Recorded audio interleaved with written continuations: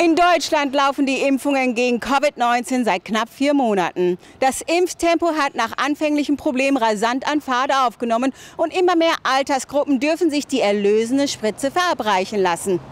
Ich wurde vergangenen Freitag geimpft. Natürlich habe auch ich viele Fragen vorab gehabt über die Präparate, die von der EU zugelassen sind. Was sind die sogenannten Vektorimpfstoffe oder mRNA-Impfstoff? Wo liegen die Unterschiede? Ich habe den Biotech Pfizer bekommen. Die Apothekenumschau hat in einem Ratgebervideo zusammengestellt, was genau der mRNA-Impfstoff ist und wie er wirkt. Wie funktioniert ein mRNA-Impfstoff? Das Coronavirus benutzt sogenannte mRNA für seine Vermehrung im menschlichen Körper. mRNA steht für Messenger-Ribonukleinsäure. mRNA kommt auch in unseren Zellen vor. Sie hilft bei der Produktion von Eiweißen, indem sie deren Bauplan aus unserem Erbgut übersetzt. WissenschaftlerInnen haben den Teil der Virus-mRNA ausfindig gemacht, der nur die Informationen für bestimmte Eiweiße der Virushülle enthält. Dieser Teil der Virus-mRNA lässt sich künstlich herstellen. Bei der Impfung werden diese künstlichen mRNA-Bruchstücke in den Oberarmmuskel gespritzt. Die künstliche mRNA wird in Körperzellen aufgenommen. Die Zelle beginnt dann mit Hilfe der mRNA Oberflächeneiweiße herzustellen. Die mRNA verändert unser Erbgut dabei nicht. Die Oberflächenproteine, die am Ende herauskommen, sehen genauso aus wie die, die ein vollständiges Coronavirus trägt. Sie werden von speziellen Zellen des Immunsystems präsentiert. So können andere Abwehrzellen sie als Fremdkörper erkennen. Diese Zellen beginnen wiederum damit, Abwehrstoffe, also Antikörper dagegen herzustellen. Antikörper sind ebenfalls Eiweiße. Sie binden an die Viruseiweiße und machen sie unschädlich. Wenn jemand geimpft ist und sich mit dem Coronavirus infiziert, erkennen die Immunzellen im Blut das Viruseiweiß sofort wieder und beginnen mit der Antikörperproduktion. Die Antikörper fangen das Virus ab, machen es unschädlich und verhindern damit, dass es uns krank macht.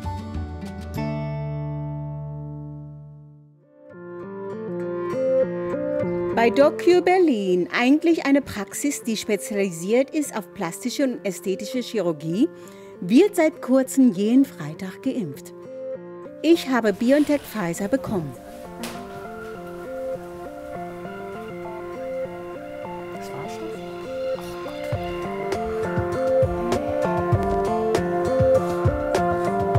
Vor der Impfung fand ein ausführliches Beratungsgespräch mit Frau Dr. Annette Kleinschmidt statt.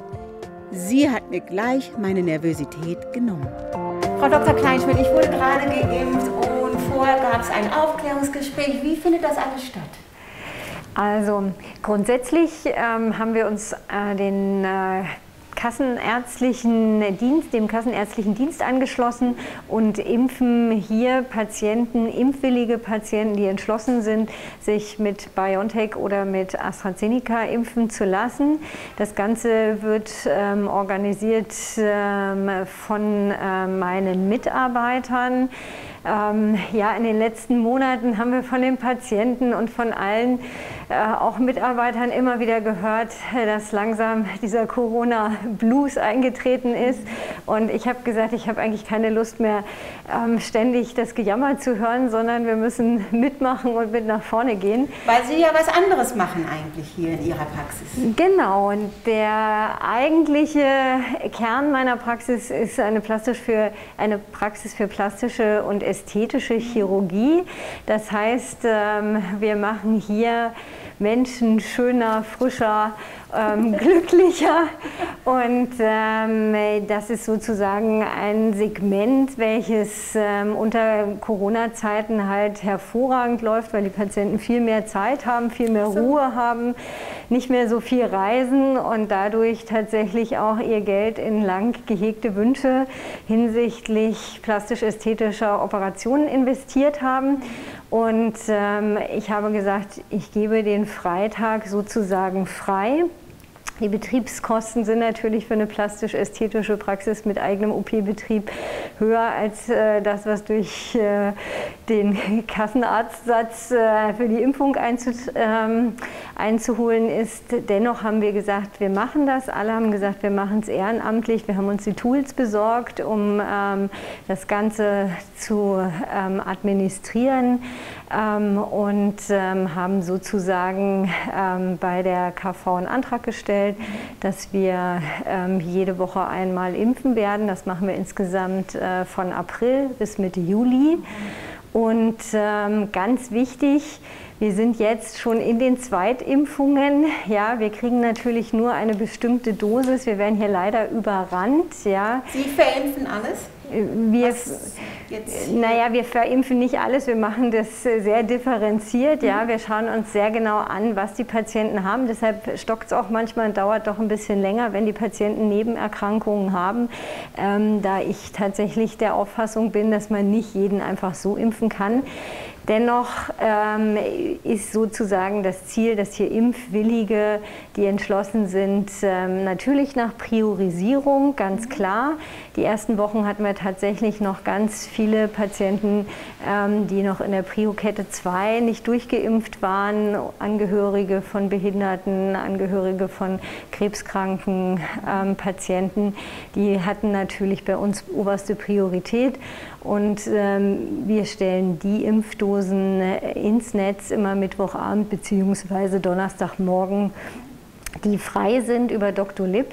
Wir können, das betone ich hier ganz bewusst, nicht leisten, Impfbettelmails anzunehmen, weil wir werden davon wirklich überrannt und das ist nicht Sinn der Sache, sondern wir haben gesagt, wir stellen das rein, was wir haben, was da ist und ansonsten müssen wir natürlich jetzt auch erstmal für die Erstgeimpften die Zweitimpfung absichern und können nur das äh, verimpfen, was wir tatsächlich haben. Mir wurde gerade BioNTech verimpft. Mhm. Sie hatten aber auch eine Dosis AstraZeneca da und das darf ich nicht bekommen, nicht wahr? Genau, ich halte mich ganz strikt an die Leitlinien der STIKO, ähm, die zuständige Impfkommission in Deutschland.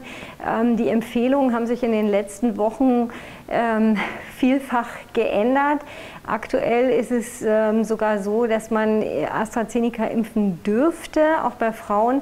Ich bin da tatsächlich vorsichtig aufgrund ähm, der bekannten Nebenwirkungen der Sinusvenenthrombosen und ähm, dass auch wir, ähm, meine Praxismitarbeiter und ich, wir sind selber mit AstraZeneca geimpft und ähm, hatten tatsächlich starke Nebenwirkungen und haben deshalb tatsächlich auch gesagt, dass wir äh, Frauen ähm, damit nicht impfen.